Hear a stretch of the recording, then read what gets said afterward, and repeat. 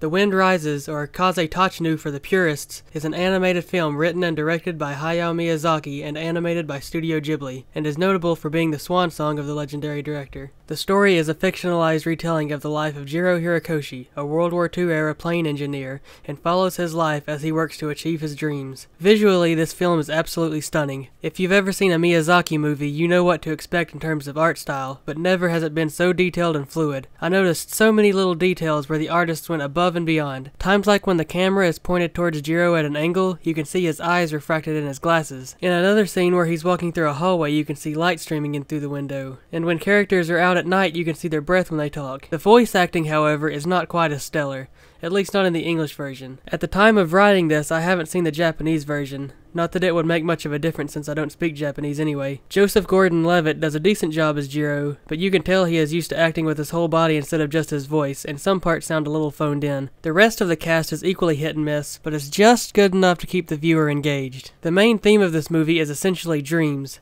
Jiro's dream to build airplanes is his main driving force, for example, but the movie plays with the many definitions of dream by having long dream sequences at the beginning of every act, where Jiro shares a dream with his idol, Mr. Caproni, who, like Jiro, is based on a real-life plane engineer. Even when Jiro is awake, the movie strives to create a surreal, dreamlike atmosphere, sometimes with its imagery, such as an earthquake drawn as waves moving through the ground, but more noticeably in its sound effects. Most of the sounds throughout the movie are just people making noises with their mouths, which really adds to the surreality. Another major part of the movie is the romantic subplot. So many movies employ the infamous romantic subplot, and although they can sometimes make the movie, more often than not they're the film's greatest weakness. And to be honest, as I was watching the movie, I thought I was going to tear it apart for a weak romance. And though I still stand by the fact that both his love interest Naoko and the relationship itself couldn't be any flatter, they actually provide important characterization for Jiro. The fact that Jiro can maintain a relationship shows that his fixation on airplanes is passion rather than obsession. At one point he states that if his job keeps him away from Naoko, he will quit without hesitation, even though that job is his dream. This makes him out to be a more rounded character rather than the whole movie being about nothing but planes. Something that the movie never explicitly draws attention to, but I feel is subtly implied as its stance on the morality of Jiro's actions. Both Jiro and Mr. Caproni state multiple times that, although they would prefer their planes carry passengers instead of bombs, in the end they don't care so long as they get to design beautiful planes. Although none of the characters challenge this, I feel like the writers subtly encourage the viewers to consider it. The biggest example of this is the aforementioned earthquake. Anything the earthquake doesn't destroy is taken by the subsequent fires. Jiro sees an entire town destroyed before his eyes, and I feel like the purpose of this scene is to show Jiro what his planes will be used for. But ultimately, the movie allows you to decide for yourself whether or not you agree with Jiro. It only wishes to tell his story without passing judgment on him, and personally, I feel like the world of entertainment could use some more moral ambiguity. And so the career of a legend comes to a close, and with a fitting end. The story of a man who wants only to create beauty, made by a man who has spent most of his life creating it. Though it's sad to see the end of this era, we have been left with an incredible legacy of some of the most beautiful films ever. Enjoy your retirement, Mr. Miyazaki, you've earned it.